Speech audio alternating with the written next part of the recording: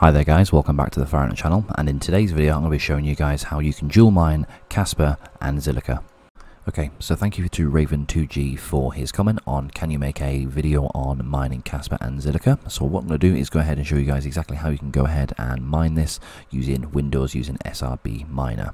Okay, so first things first, we're going to need to go ahead and make ourselves a Kaspa wallet. So go ahead and take yourself over to wallet.kaspanet.io and I'll leave a link for everything in the description for you guys so you can go ahead and just copy and paste. Now once you've gone ahead and created yourself a wallet, we're going to need to go ahead and get ourselves a receiving address. So once you've collected your Kaspa receiving address, what you're going to need to do is go ahead and make sure you grab yourself a Zilliqa address. For this instance sake, I'm using Binance for this, and I'll go ahead and leave a referral link for you guys down in the description if you haven't already signed up to Binance.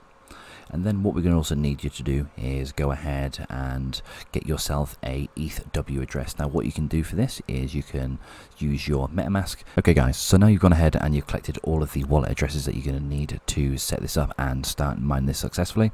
Let's go ahead and download the miner. So the miner for choice today is SRB Miner.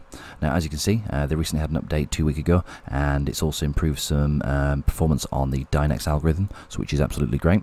Uh, but in today's video we're talking talking about the Kaspa and Zilliqa mining. So let's go ahead and press on download on the 2.23 Windows 64.zip version. Then once this is downloaded, Okay, so once your SRB miner has gone ahead and downloaded for yourself, all you need to do is go ahead and drag and drop this folder onto your desktop. Now, I don't need to do that as I've already got these files on my desktop, but I'm going to go ahead and show you guys what to do exactly after that.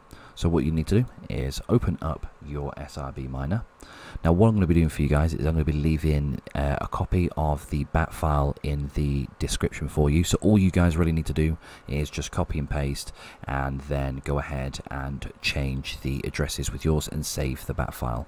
So this will be the bat file that I'll be sending you guys. So all you need to do is just go ahead and copy this assuming that you guys are making a brand new one yourself, go ahead and press text document, put in there Kaspa, Zil,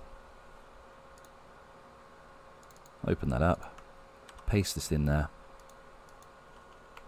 go ahead and press save as, and save this as lowercase bat. Let me just close off the current mine operation I've got at the moment, and if we close this and we double click on the Kaspa and Zil. We should be now successfully mining on Kaspa and Zil.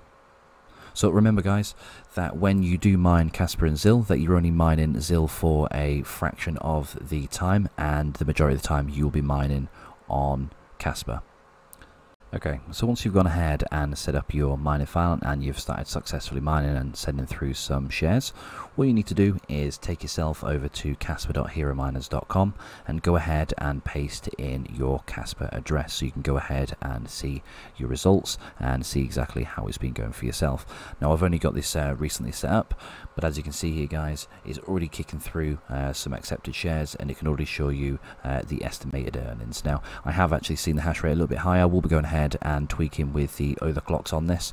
So just to show you guys uh, the overclocks that I currently have at the moment, they're currently, uh, I've got about 5% down on the power PowerLink, which I probably could go down a level so a little bit more on there.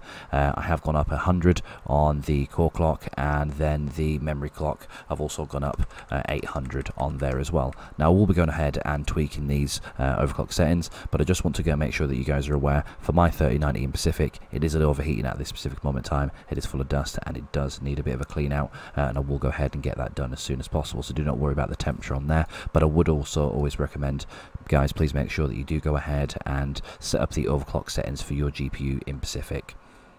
And then when it comes to your Zilliqa earnings you'll be seeing this over on your eZil page. So what you need to do guys is when you go ahead and set yourself up on here all you need to do is make sure that you put in the ETHW address that you grabbed from your MetaMask that I showed you prior and then make sure you have your Zilliqa address in there and go ahead and get this set up. I will also throw you guys a little promo link in there for you.